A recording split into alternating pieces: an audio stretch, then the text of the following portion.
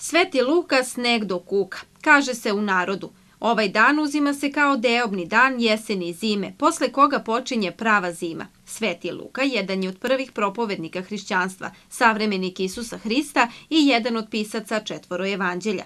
Smatra se da je Sveti Luka lično poznavao Bogorodicu i da su tri ikone sa njenim likom koje je svetitelj naslikao najbliže njenom pravom izgledu. A poznata je ikona u ikoni, koja predstavlja Svetog Luku i u perspektivi ikonu Bogorodice koju svetitelj oslikava.